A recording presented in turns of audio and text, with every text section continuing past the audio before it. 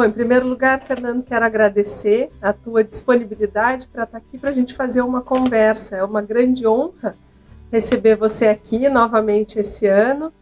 E eu gostaria de saber, queria falar para as pessoas também, quem é o Fernando? Olha, muitas vezes até eu me pergunto, tá?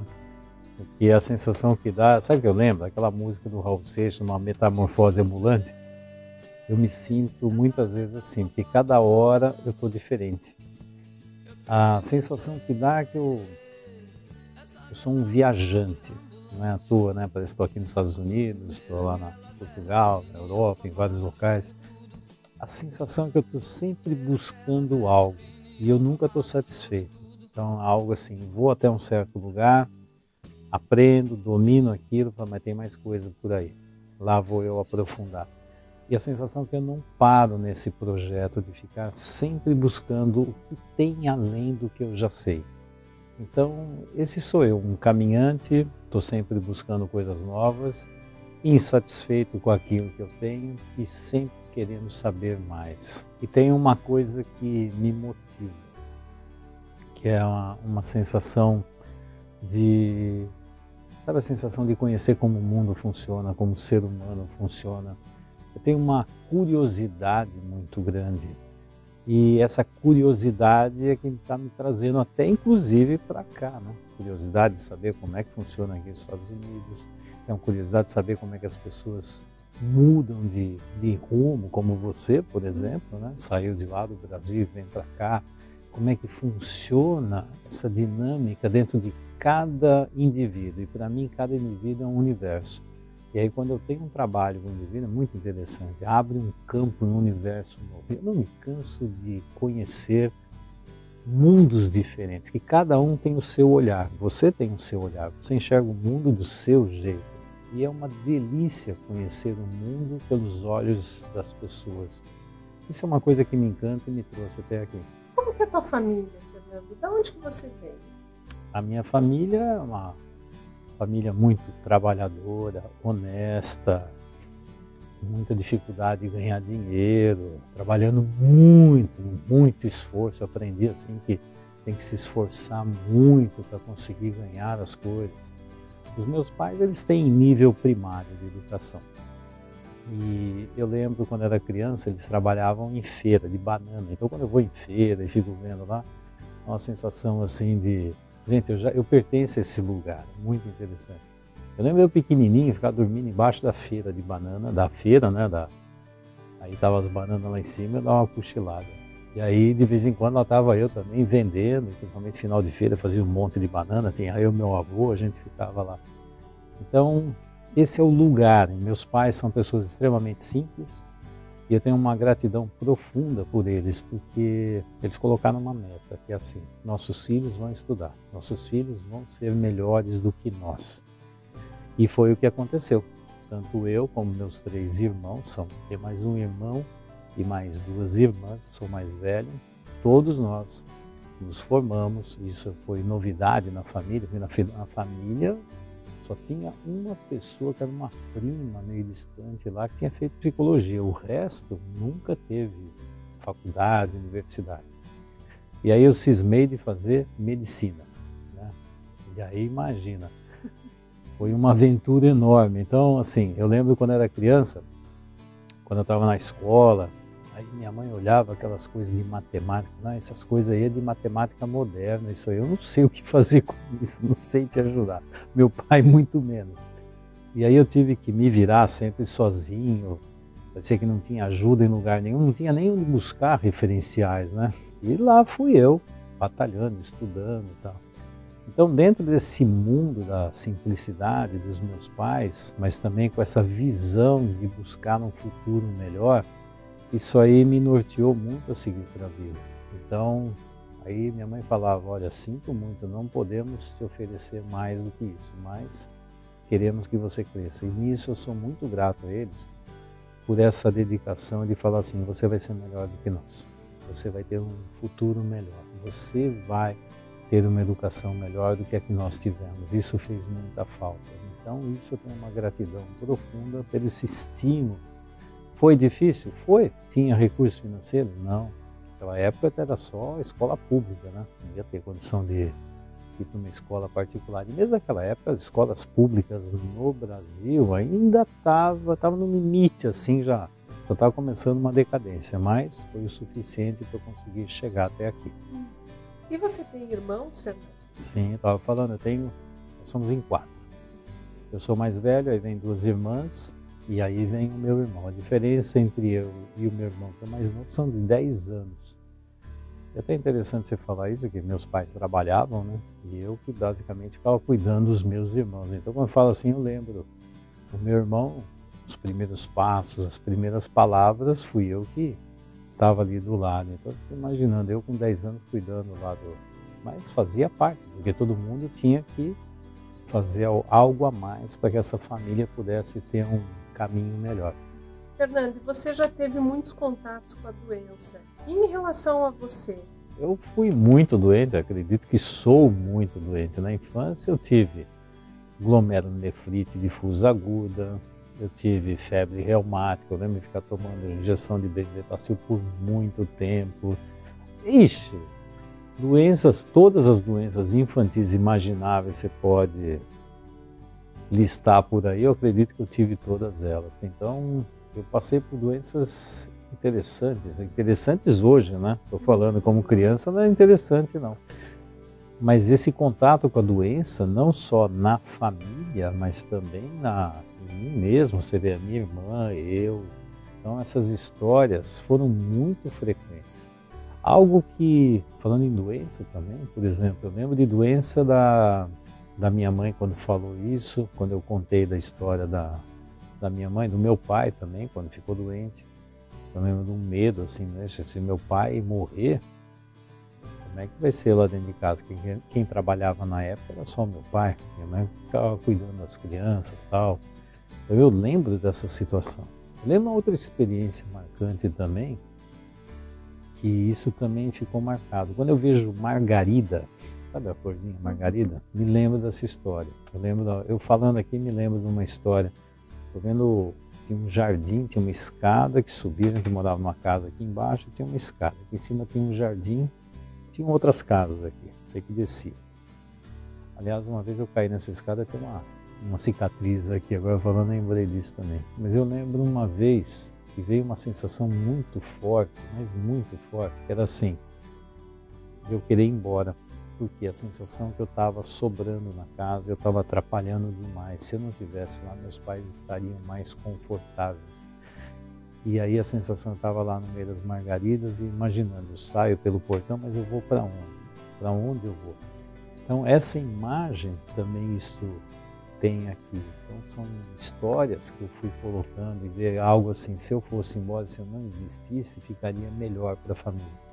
Eu estou vendo como tudo isso, esse meu contato com a criança, já fiz muita terapia na vida, né? Eu já fui dar umas mergulhadas nessa história, mas quando eu olho para isso, eu fico vendo a minha criança e vendo essas dinâmicas.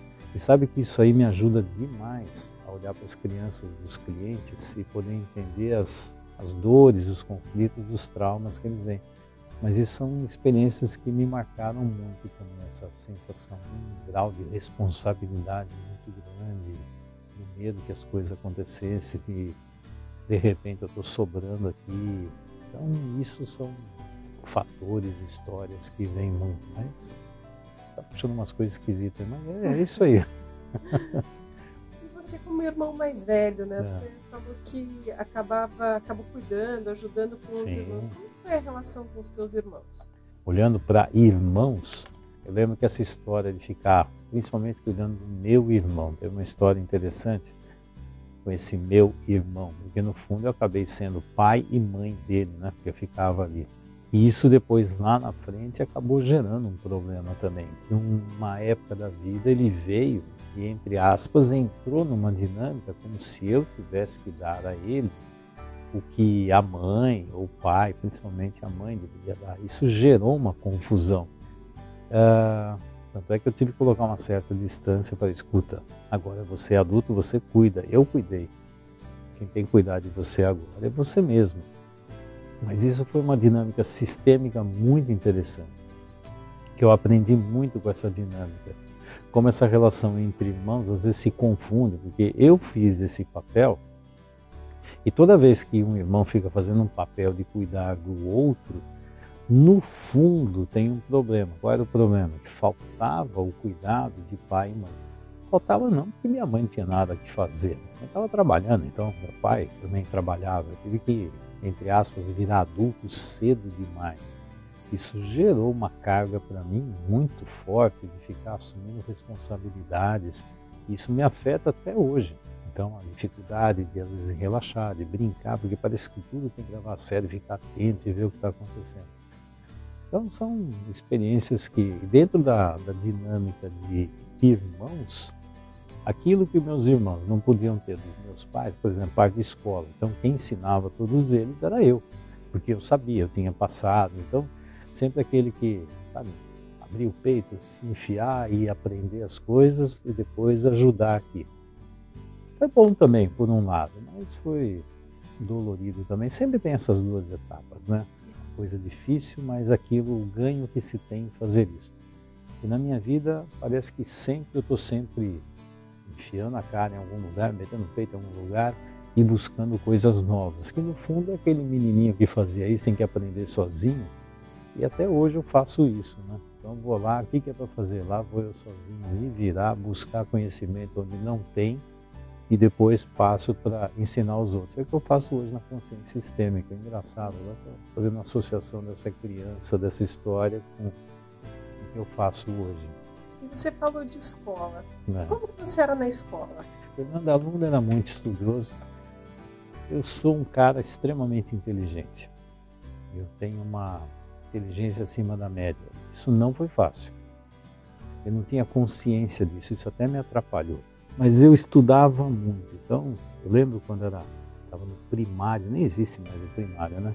Tinha um, tinha um negócio que a gente colocava aqui, que era da escola, e tinha um outro que era do líder. O líder era o melhor aluno da classe. Olha que lindo, o melhor aluno da classe. Minha mãe devia ficar feliz da vida, né? O melhor, orgulhosa. Olha, meu filho é o melhor aluno da classe. Só que ao mesmo tempo levava só o burdoado dos outros, que eu era um fator de comparação. Isso é uma coisa esquisita. Então você é o melhor, aí os alunos ficavam putos, porque que. Então era muito bem visto pelos professores, pela minha mãe, mas acho que pelos colegas, não. Ah, mas tinha sim, eu era sempre estudioso. E eu lembro de uma situação que quando saiu do primário e foi para o ginásio, o ginásio foi Alberto Conte, lá em Santo Amaro, eu morava na cidade de Dutra. Eu pegar um ônibus, demorava uma meia hora, 40 minutos, dependendo do trânsito para chegar lá. Então, fazia o ginasial lá. E mudou radicalmente, porque primária é uma professora fazendo ginásio, são vários professores, várias provas. E aí, era como assim, sair de uma pessoa e de repente ter várias pessoas ali e vários outros colegas. E eu lembro uma dinâmica engraçada que era assim: ia fazer prova, aí começava uma cola para tudo quanto é lado, e era teste, eu não estava acostumado a fazer teste. Ah, a pergunta está aqui, você tem um item, qual que você responde? Qual que você responde? Aí eu lembro que eu estava lá, eu fazia, colocava, aí escutava aqui do lado. A terceira é C, é C, é C, é, é a terceira é C. Eu olhava lá, terceiro tinha colocado A. Eu falei, mas é A, mas é A. Ah, mas tá todo mundo falando que é C. Então eu ficava assim, eu deixava o A ou colocava o C? Aí eu falei, não, eu devo estar errado, né? Porque tá todo mundo falando que é C. Aí eu lá punha C.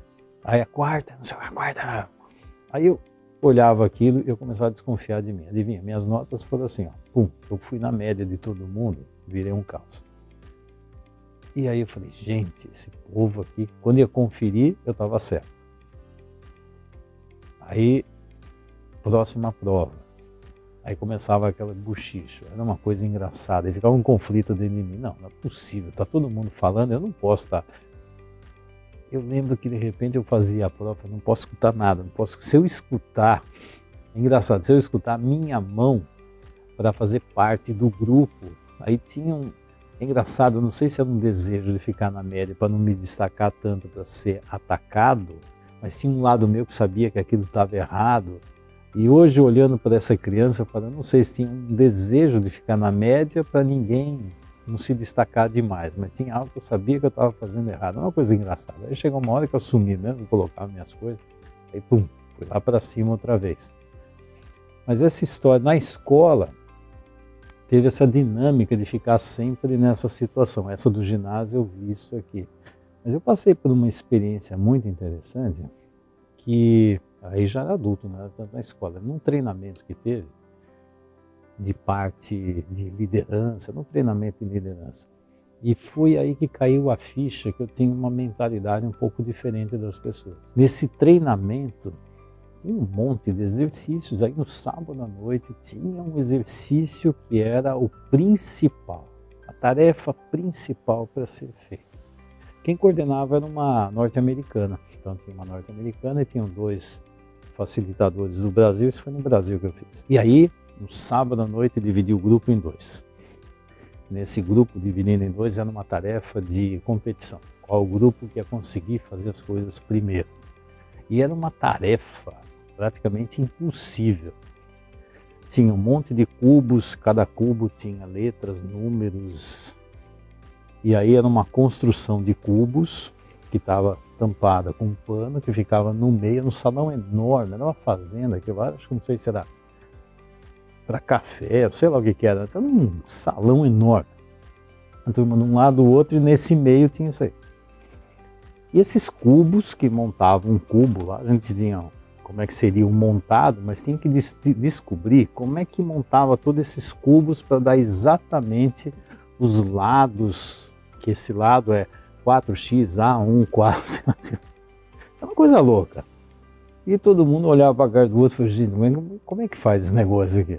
Aí era assim, um do grupo saía, ia lá, aí girava aquela construção, onde parava, levantava o pano, a pessoa via só um lado.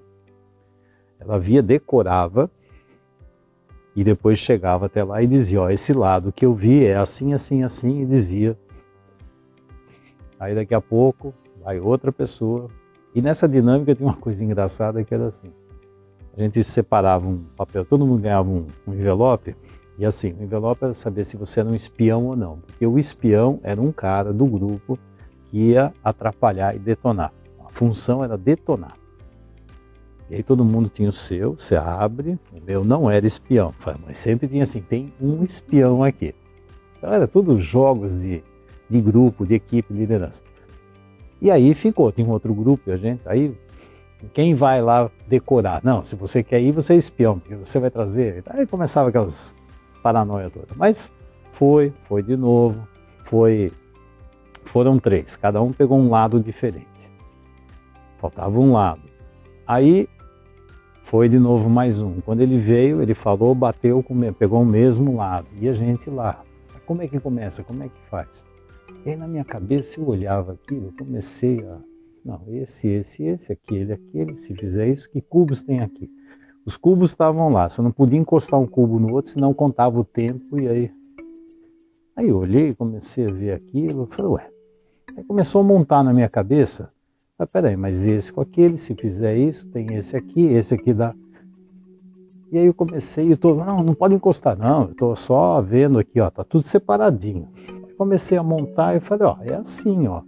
Se fizer assim, desse jeito, ó, esse lado tá ok, esse lado tá ok, esse lado tá ok. Aí o outro lado, o outro lado deve ser. As peças são essas, sobrava só alguns cubos, ué. Então, se esses aqui estão certos, o outro lado também está certo. Aí olhava para mim, não, vocês, está aqui, eu estou montando, ó, ó, aqui, ó, está tudo separado. Eu acho que dá para montar. Aí ficava olhando. Aí o povo não sabia como montar, e aí falou, bom, e aí falou, aqui, ó, tá aqui. É só montar. Aí viram, aí chamaram lá, ó, vai montar aqui. Então chamou, veio lá, norte-americano lá, com os dois brasileiros lá. E aí, ó, nós vamos montar. Então tinha um cara que era do cronômetro, a partir do momento que encostasse é do cronômetro. Então, ó, o cronômetro vai bater. Né? Aí fui lá e montei. Tá, tá, tá, montei. Aí eles iam conferir. Eles conferiram, conferiram, conferiram, começaram a olhar um para a cara do outro e conferiram. Eles olharam, estavam com um olhar esquisito. Eu falei, tá errado. Eles falaram, tá errado. Ah, eu falei, já sei o que tá errado. é esse cubo aqui, que tem os mesmos lados, mas só que um outro lado é diferente. É só trocar esse aqui. Então não era, eu estava na dúvida, era isso aqui, então é aquele, ó. Pronto. Esse cara olhando um para cara do outro e ficar com uma cara esquisita, eu não estava entendendo nada. Falei, não tá certo. Eles olharam um para cara do outro. Falei, tá certo. Ué, então pronto, acabou. Então, mas quem montou isso aí?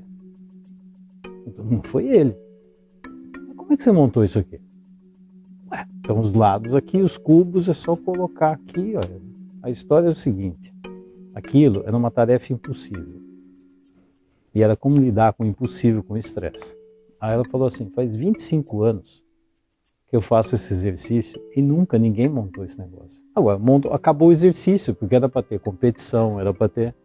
Era o exercício chave, que era o exercício impossível. E eu montei. Isso me ajudou demais, porque antes eu acreditava que as pessoas viam o que eu estava vendo. Tá, isso aqui é fácil de ver, não está vendo? Aliás, hoje em dia também, quando eu trabalho dentro da constelação, enxergo coisas, mas como é que se enxerga? Eu vou ensinando como é que enxerga. Mas é algo que caiu uma ficha enorme naquele exercício. Fala assim, gente, eu vejo coisas diferentes dos outros. Por isso, isso me afasta muito. É uma dinâmica que a sensação, as pessoas não compreendem o que eu estou vendo. As pessoas não estão entendendo o que eu estou vendo. Eu falei, e é verdade. As pessoas não entendem o que eu estou vendo. Eu vejo coisas que eles não estão vendo. Foi bom e foi ruim ao mesmo tempo. De novo aquela história. Porque tem sempre um sentimento de isolamento, parece que não sou compreendido, não sou visto. E aí eu falei, mas é verdade. É verdade, as pessoas não entendem o que eu vejo. Então eu preciso, sabendo disso, muitas vezes eu tenho que sair daqui para vir para cá para poder ajudar, inclusive até para ensinar as pessoas a virem para cá. Mas antes eu acreditava, se eu via, todo mundo via. E de repente não era assim. Isso foi uma experiência que me marcou muito, mas isso eu já estava no lado profissional. E você já falou da tua curiosidade, hum. né? É, isso foi um dos fatores que te motivava a estudar? Vixe, sempre. Eu sempre queria saber mais. Eu tenho uma curiosidade por saber impressionante. Então, isso sempre me motivou. Eu sempre que eu olho para aquilo e não estou satisfeito, quero mais, quero mais, quero saber mais. E é engraçado que para mim estudar não é fechar o assunto, estudar é abrir o assunto. Então, quanto mais eu estudo, mais abre um campo de possibilidades. Eu consigo avançar. E o que eu vejo, a maioria das pessoas, quando vem atrás de mim, elas querem que eu feche o assunto. Eu falei, eu não vou fechar, eu vou abrir. Eu vou ensinar você a ver mais coisas. Não, eu quero me mostra que aí eu fico satisfeito e está ok. Eu falei, peraí, eu vou te mostrar algo que tem muito mais por trás. E foi até depois, dentro dessa dinâmica, eu desenvolvi esse 5 por 1. Um, ó, tem isso aqui, mas isso aqui tem isso por trás. E aí eu estou sempre vendo o que tem por trás daquilo que as pessoas enxergam. Então eu estou indo sempre além. Então isso aqui é básico na minha vida o tempo todo. E o que, te motivou a ir para a medicina? Eu acho que tanta doença que tinha na família em mim, né? E aí era algo assim, eu queria poder ajudar as pessoas a sair desse sofrimento, dessa dor, dessa angústia. E aí, até inclusive dentro de mim, o que, que tem aqui que dá para melhorar, que dá para tirar essa pessoa dessa dinâmica. E aí, para mim, o que me veio logo de cara foi medicina. Falei, vou para medicina. Até era uma coisa estranha, né? Quando eu falava que ia fazer medicina, até na feira, lá o pessoal conhecia meus pais, ficavam dando risada, falavam, filho do feirante vai fazer medicina, quá, quá, quá, quá, quá. Riam, né? Então tinha uma coisa meio de chacota, meio... Mas foi interessante, é interessante que quanto mais, entre aspas, as pessoas tentam, entre aspas, me diminuir, sabe o que, que acontece? Eu ganho força para avançar. Eu vou mostrar para vocês como é que eu entro. E foi interessante, viu? Essa história da medicina veio muito em cima disso, de tanta doença que eu vi. E participei, eu como doente. Como que foi a tua vivência na faculdade? A vivência na faculdade foi uma coisa estranha, porque, de novo, estou entrando numa faculdade que eu não sabia o que era, não fazia ideia do que era uma faculdade, ainda mais faculdade de medicina. Entrei lá na Escola Paulista de Medicina. Também só dava para fazer se eu tivesse entrado numa escola pública, né? Recurso financeiro não tinha. Eu trabalho desde os oito anos de idade. Então, desde os oito, quando tinha férias, eu ia, eu ia numa fábrica do que meu tio trabalhava, era fazer biscoitos finos, acho que era Spring, sei lá o que, é. Então, período de férias, quando tinha férias, eu ia para lá, ajudar a fazer esses biscoitos. Eu gostoso, o biscoito era bom mesmo. Só que as férias já eram, né? Depois, a partir dos 12 anos, já comecei a trabalhar regularmente, carteira assinada, tudo aí direto, estudando à noite e assim por diante. Quando chego na faculdade, é um universo completamente novo. Eu trabalhava, eu sempre trabalhei para construir base, segurança. Então eu trabalhava, eu lembro que eu ia guardando dinheiro, porque eu ficava assim, quando eu entrar na faculdade de medicina, eu não vou ter condição de trabalhar. Então tem que ter o dinheiro básico, nem que seja para condução, para comer, alguma coisa. Então eu já tinha essa ideia tá? de preparando para esse mundo lá. E quando eu entro, uma surpresa enorme, né? Porque era um monte de gente completamente diferente de mim. Então o pessoal lá entrou na faculdade, foi para a Europa, ganhou um carro, sabe assim? Eu olhava aquilo para gente, eu não tinha dinheiro para o ônibus. Eu lembro de uma situação que tinha bioquímica, tinha que comprar um caderno para fazer relatórios e tal. E aí, caderno, meu caderno era um caderninho de simples, lá, comprei na papelaria, o pessoal tudo com uns negócios, umas pastas, com aquele, aquela coisinha ali, né? Pra gente, me sentia meio humilhado diante de tudo aquilo. Aí teve uma experiência também interessante, na bioquímica. Na bioquímica, o professor, não, vocês vão fazer um monte de experiências aqui, vocês têm que fazer um relatório para fazer tudo isso. Como é que vai fazer isso? Eu não sei como é que faz relatório, nunca vi isso na minha vida tal. E aí toca eu ficar fazendo as coisinhas. Aí chegou um dia que a a professora chegou lá, chegou e falou, nossa, que vergonha, não é possível, vocês não sabem fazer relatório, tá tudo errado. Eu assim, é verdade, eu não sei como é, sabe assim, nossa, está falando comigo, não é todo mundo. E aí, tá tudo errado, vocês não têm cabeça, vocês não têm noção, isso é bom senso. Você começou, né? Aí todo mundo ali, né? Ela falou, vamos dizer que todo mundo, só tem um aqui que realmente soube fazer. Eu falei, nossa, quem será esse? Adivinha quem era? Eu. Aí tive que emprestar aquele meu caderninho para todo mundo, para eles estudarem e ver como. Eu falei, gente, o meu caderninho, vagabundinho que tinha lá. Esse também foi um outro assim, gente, tem alguma coisa estranha aqui, mas eu consegui pegar, mas foi uma experiência interessante. Eu tive no primeiro ano da faculdade, logo no início, uma crise hipertensiva alta, um estresse tão grande, falei, não sei se eu vou dar conta, não sei o que é tudo isso até suspeitado de felcromocitoma. Dentro da faculdade fizeram os exames lá, um negócio, mas não era, era estresse mesmo. Então era algo.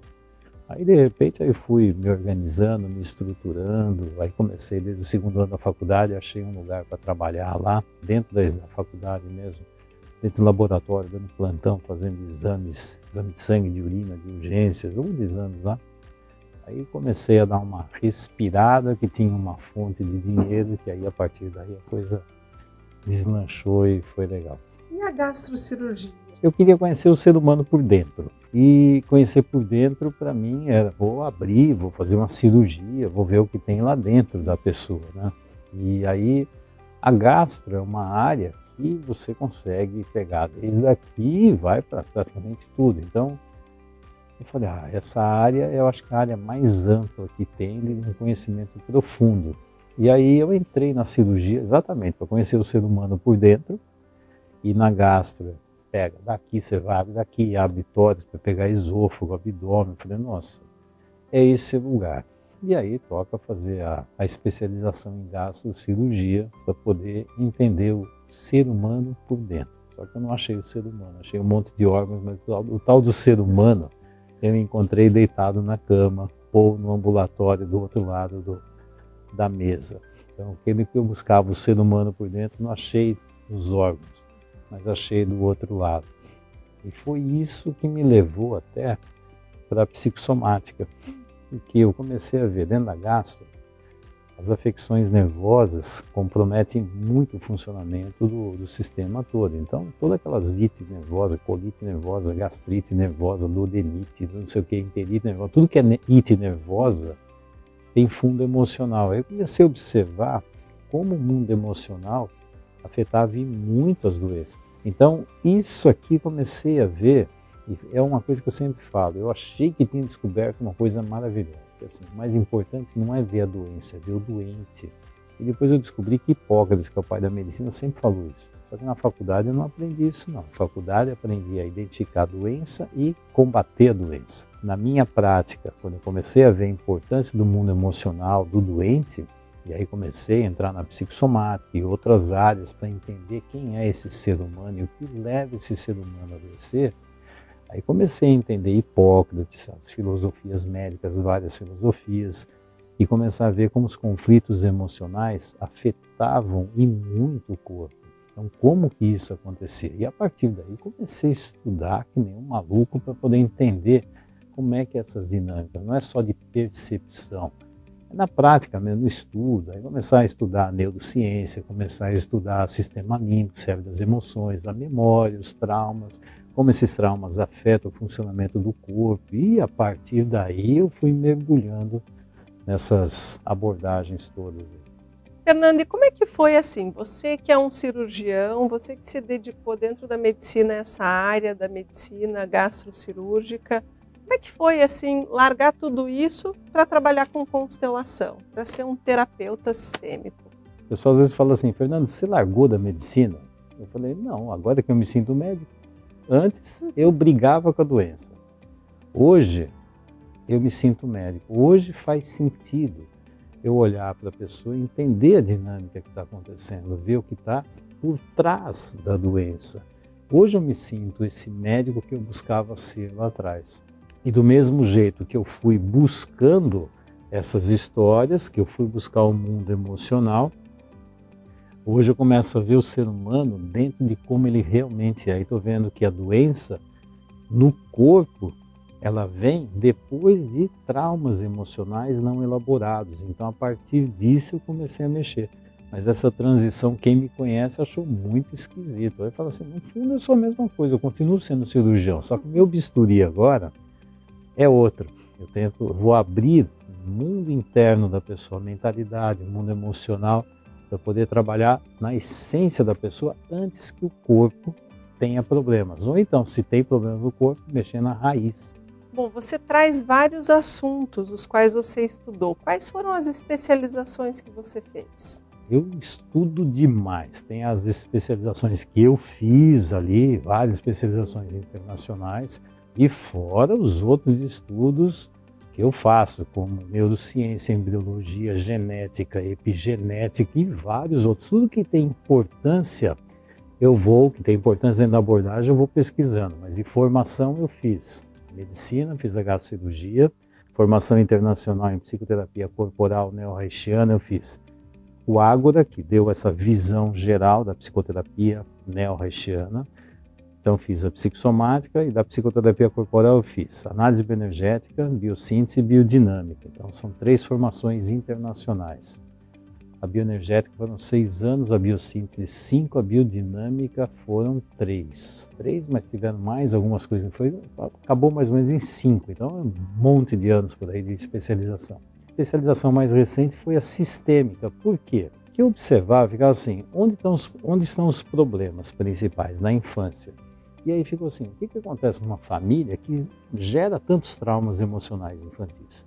Aí, para entender a família, a doença emocional dentro da família, aí a abordagem que me chamou a atenção foi a sistêmica e dentro dela a abordagem que o Bert Hellinger criou com essa ferramenta impressionante e maravilhosa que é a constelação sistêmica, que ajuda muito a ter uma visão melhor. Aí eu fiz a especialização da constelação sistêmica familiar e também a organizacional e a consultoria e coaching sistêmico dentro dessa abordagem do Bert Hellinger. Como que você descobriu a constelação sistêmica? Foi exatamente nessa busca em entender como é que funcionava isso, e a constelação sistêmica é muito recente, né? Eu fazia parte da, do pessoal da psicoterapia corporal neo-haitiana, e aí as pessoas que estavam lá, os vários professores, descobriram na Alemanha esse tipo de trabalho. Foi um grupo lá conhecer o trabalho Hellinger. Aí comunicaram para todos lá e ficamos assim, ah, seria muito interessante trazer essa abordagem para cá. O pessoal foi lá conversar com o Hellinger e o Hellinger não dava curso, não tinha curso. Assim, ah, vem aqui, fica assistindo fazer e vai aprendendo. E brasileiro adora curso, é impressionante, né? Aí o pessoal, não, a gente está querendo um curso, uma formação tal. E o Hellinger tinha a equipe dele lá, que era o Gunther, o Schneider, a Ziglinda. A Ziglinda foi quem criou a técnica da constelação individual E aí esses três professores estavam pressionando o Hellinger que precisava fazer uma formação oficial. Não dava mais. Tinha muita gente que ficava assistir o Hellinger fazer e na semana seguinte estava dizendo que estava fazendo constelação lá na Alemanha. Virou um caos aquilo. E aí os professores pressionando e aparece esse grupo de brasileiros querendo tal da, da formação. Aí o Hellinger pegou, juntou um com o outro e falou assim, ó, vocês querem dar curso? Vocês estão querendo curso, né? Então fala, vocês montem um curso e dei um curso.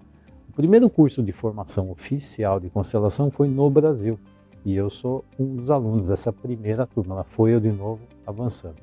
E foi assim que a coisa criou, apareceu. E esse curso que foi feito no Brasil foi o que foi levado para o resto do mundo. Então o Brasil foi o primeiro local que teve o curso e eu tive a honra de ser o aluno, um aluno dessa primeira, desse primeiro grupo. E de que forma que tudo isso que você trouxe aqui para a gente afetou na tua vida familiar, pessoal, profissional? Eu mergulhei de cabeça para entender quem sou eu no meio dessa história toda. Não é só ficar olhando para o outro, não, quero ver a partir de mim. E toda vez que eu aprendi alguma coisa, eu ia, mergulhava dentro de mim, fazia terapia, buscar caminhos para ver o que, que isso me afetou. Então, todos os ganhos que eu tive nessas formações, eu utilizei para dentro de mim, sempre. Isso para mim foi fundamental. Mudou a forma como eu olhava para mim, mudou a forma como eu olhava, olhava e olho para as minhas doenças, para os relacionamentos, para os filhos, a família. Isso basicamente me tirou de um inferno que eu carregava para poder chegar nesse mundo que eu estou hoje. Fernando, como que você vê as suas experiências de vida com o conhecimento que você tem hoje? tem experiências marcantes. Eu recebo muitos feedbacks, mas muitos feedbacks de pessoas que fizeram tratamento comigo. Hoje em dia eu recebo feedback de pessoas que assistem uma palestra e de repente faz mudança, que fazem uma intervenção e conseguem fazer mudanças importantes. Então, por exemplo, pessoas com câncer, uma colega, colega de profissão, uma médica que marcou muito. Ela veio, me procurou com câncer de pâncreas. Câncer de pâncreas é um câncer terrível, geralmente são meses assim, não, não tem muita saída. E ela veio buscar uma constelação, indicaram, ela veio. Aí ela veio, fiz o trabalho com ela, identifiquei uma série de coisas. E aí ela olhou para mim e falou assim: Eu quero dar uma continuidade, continuidade nisso. Onde eu aprendo essas coisas? Eu falei: Tem um curso do Consciência Sistêmica.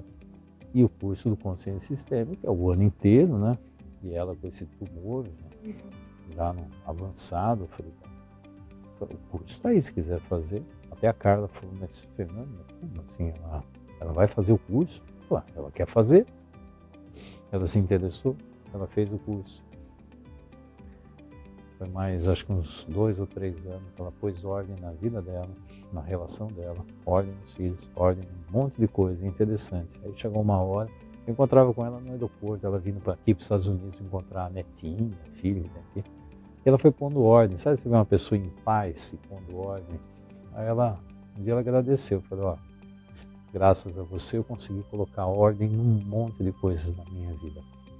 Isso foi essencial para estar nesse lugar. É interessante, depois que ela pôs uma ordem em muitas coisas, acho que depois de uns três ou quatro anos, ela faleceu em paz. Teve casos de depressão de 20 anos, que já foi internado, tomava medicação, aí chega, vai lá, faz o trabalho. Hoje em dia está extremamente produtivo, assim diante. Casos de suicídio, casos, nossa, é impressionante. Eu recebi o ano passado um depoimento de uma me agradecendo que ela, quando ela veio para mim, ela estava com câncer, ela estava fazendo fertilização in vitro e não estava dando certo vários abortos dessas fertilizações. E aí ela teve que parar porque descobriu um câncer de mama. Aí ela veio, aí trabalhei com ela, aí ela também resolveu fazer cursos comigo lá. E aí o ano passado ela me manda uma, um depoimento, falando assim, Fernando, eu quero compartilhar com você as grandes vitórias que eu tenho. Aí ela começou a falar, eu falei, ah, lembrei quem era ela. Falou, olha, eu fui sua aluna, você fez trabalho comigo em constelação, ela falou assim: ó, câncer foi, e contrariando toda a, a crença médica, falar: não, você não vai conseguir mais engravidar. Falou: estou grávida. E estava acho que uns sete meses de gravidez. Quando nasceu, ela mandou a foto. Falei, tá aqui, ó. Isso não tem preço, sabe uma coisa assim? Não tem preço ver as pessoas buscando curas milagrosas. Nossa, isso é um milagre, parece que é um milagre. E quando você olha, não é um milagre, mas é algo da pessoa ter coragem de olhar para a dor dela e fazer essa transformação. Então, assim, quando você vê esse monte de casos vindo, né? Crianças que estão nascendo, casais inférteis, de repente, o que está acontecendo? Aí surge uma criança ali. E já vi vários casos, casos de casal que se arrebentaram e se destruíram, acabou toda a relação, vão lá e depois montam aquilo de novo, aí vem filhos, de vez em quando eles mandam foto para mim, assim, olha nós aqui, tudo aqui, é muito interessante isso. É uma sensação que não tem preço. Sensação de que realmente, sabe assim, está fazendo uma missão e ajudando as pessoas, isso não tem preço. E eu não canso de fazer isso. Isso aqui abastece a alma, né? Você começa a fazer isso agora, e hoje em dia o maior prazer é que eu estou começando, começando não, eu estou já muito tempo já comecei, ensinando pessoas a fazerem isso, eu estou vendo as pessoas também terem esse resultado. E eu espero que você também já tenha esses resultados, e se não tem, você pode se preparar que você vai ter resultados excepcionais. É quando eu vejo o pessoal se formando, tendo uma, vou colocar assim, um avanço na profissão financeira, emocional, familiar, as coisas entrando em ordem e funcionando, de novo, não tem preço, é uma delícia, isso que me motiva, sabe? Ver as pessoas cada vez mais saudáveis, em todos os planos, pessoal familiar, profissional, isso é a grande motivação, de saber que cada vez dá para fazer mais. Eu também não me canso, sempre estou buscando o que mais eu posso fazer para ajudar, onde mais eu posso mexer, que outro recurso técnico eu posso fazer. Você trabalha com muitos relacionamentos, com família. E na tua vida pessoal, como foram os teus relacionamentos? Já casei, estou na minha terceira esposa. Uhum. Isso mostra como eu sou doente em termos de relacionamento, ou era, né? Aprendi com elas muitas coisas éramos todos infantis e cheios de problemas, mas eu pude pegar o melhor de todas essas relações. Tenho um amor profundo a todas as pessoas com quem eu me relacionei, porque cada uma foi uma mestra para mim. Aprendi muitas coisas. E o que eu sou hoje, o homem que eu sou hoje, eu devo muito ao aprendizado que eu tive, principalmente pelos problemas que aconteceram. Aprendi. E a vida que eu tenho hoje, a relação que eu tenho hoje, tem como base os problemas lá do passado. Então, não foi o melhor, o ideal seria um relacionamento só, isso é verdade, mas eu sou uma pessoa doente, minha família é doente, é cheio de problemas. E com esses aprendizados, hoje eu pude construir uma família mais saudável.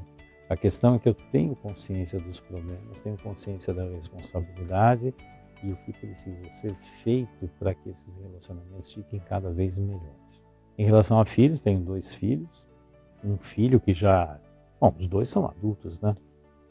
Tem um homem, o Pedro, e uma mulher, a Luísa. A, a Luísa está seguindo a mesma abordagem que eu sigo, muito interessante. Agora tem uma netinha, a Bárbara, coisa mais fofa do mundo. Estou aguardando agora um outro neto que está vindo, mas vem pelo lado da Carla agora. Estou na fase de avô, é uma delícia ser avô, uma delícia. Estou esperando agora a nova experiência que vem vindo agora o Gabriel. Então vamos ver como é que vai ser essa são fases de evolução muito interessantes, né? Ser pai é uma coisa diferente, ser avô é muito diferente. E espero ser bisavô, tataravô, vou ver se a vida permitir, se eu também souber caminhar nisso, né? E é fácil conviver com você? É muito difícil conviver comigo. É brincadeira. As pessoas que vivem dentro do mundo da ilusão, tem uma dificuldade de viver comigo e eu também tenho uma dificuldade de viver com as pessoas que vivem na ilusão. Eu vejo as pessoas sofrendo e se cercando de mecanismos de defesa e eu vivo dentro da realidade, ou mais perto da realidade possível. Eu também tenho as minhas neuroses, tenho muita coisa ainda para melhorar. Eu sempre vejo que tem mais coisa para fazer. Então, conviver comigo muitas vezes não é tão fácil assim. Eu até compreendo isso que as pessoas querem viver num mundo, parece da carochinha, e eu não vivo nesse mundo. Então, quando vem compartilhar comigo umas coisas, eu falo, oh meu Deus do céu, sabe? A sensação assim, ai, ai, ai. Então, Não é tão fácil, mas as pessoas que sabem conviver comigo têm ganhos impressionantes. Impressionantes. Então, tem certas pessoas, conviver é condicional. Então, assim, eu amo todas as pessoas, mas conviver é condicional. Tem pessoas que vivem num mundo tão estranho, tão fora da realidade, que eu prefiro ficar um pouco distante. Isso aí me ajuda e ajuda elas também, porque elas não querem escutar o que eu quero falar, eu também não tenho obrigação de ficar falando, não é cliente nem nada mas tem poucas pessoas perto de mim, mas as pessoas que têm, têm uma qualidade de relacionamento muito bom e muito legal. Isso, é, isso me ajuda muito. Eu não estou aqui para agradar todo mundo, as pessoas também não têm que me agradar.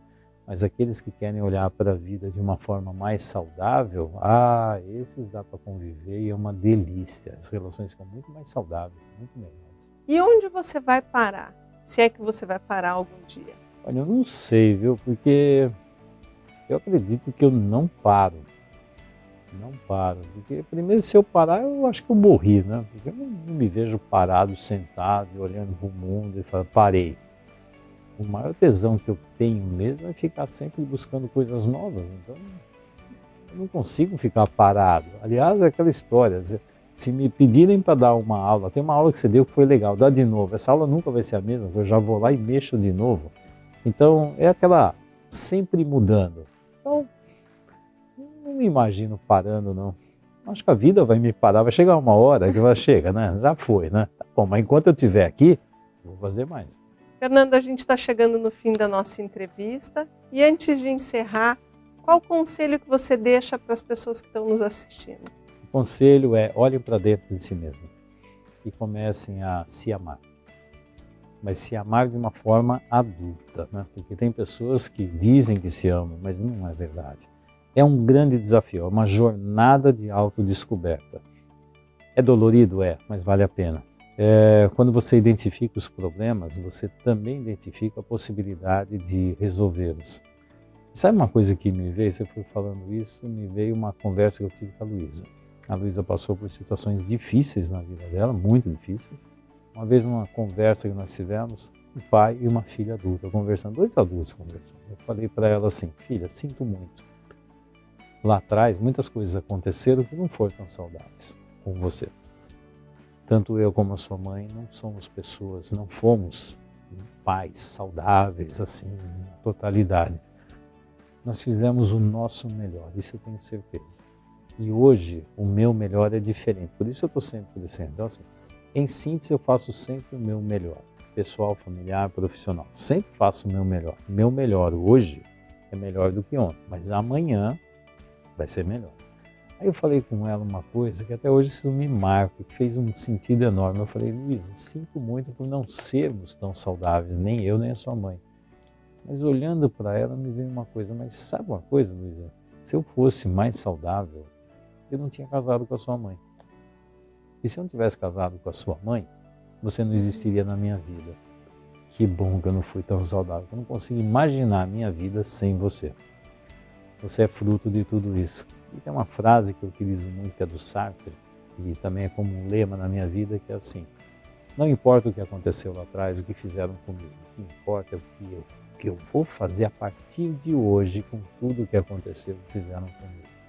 E aí, vamos aprender tudo o que aconteceu lá atrás e temos a possibilidade de escrever coisas novas nas páginas que ainda faltam no nosso livro da vida.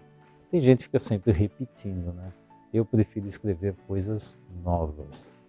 Espero que tenha muitas folhas para escrever muitas coisas por aí. Essa é a dica que eu dou para todo mundo que faça isso. Escrevam histórias novas na sua vida e, de preferência, histórias mais saudáveis. Todo mundo tem o poder de fazer isso. Eu acredito piamente. E é nisso que eu trabalho, é nisso que eu ajudo as pessoas, a escreverem novas histórias. Mesmo que seja ruim, mas pelo menos seja diferente da que já está. Faz uma coisa diferente, né? Descubram coisas novas na vida. Eu acho que isso aqui é a que eu posso deixar aqui hoje. Fernando, quero agradecer a tua participação aqui na nossa entrevista. Acredito que as pessoas que estão aqui nos assistindo vão ficar muito felizes de conhecer um pouquinho mais de quem é o Fernando Freitas. Obrigada e aqui a nossa casa de Miami está sempre aberta para você. Foi uma conversa muito interessante. Você me ajudou a fazer um caminho pela minha história de vida. E hoje eu estou aqui. Interessante. Te agradeço até por tudo isso que passei pela história e revivi alguns momentos importantes. Então você me, me ajudou nessa história que me conduziu. Fazia tempo de certas lembranças que eu não colocava aqui. Eu dei uma chacoalhada aqui dentro. Que bom, que bom. Eu te agradeço. Também.